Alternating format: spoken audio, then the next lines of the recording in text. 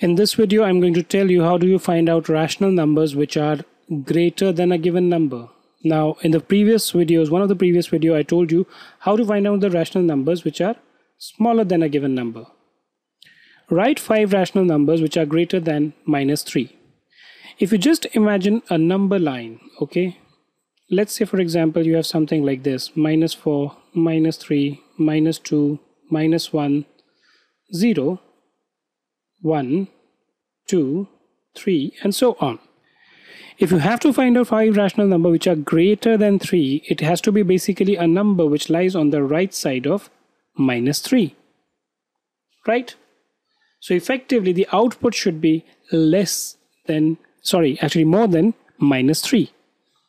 In order to achieve that, I just simply write minus 3 as maybe um, minus 6 by 2 right? Because minus 6 by 2 is nothing but minus 3, right?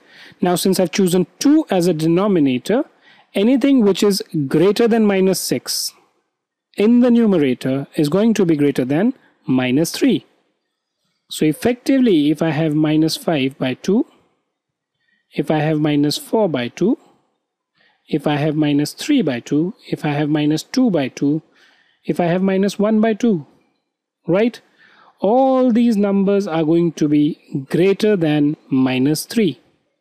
And you can choose any denominator that you want. You could have actually chosen minus 9 by 3. Right?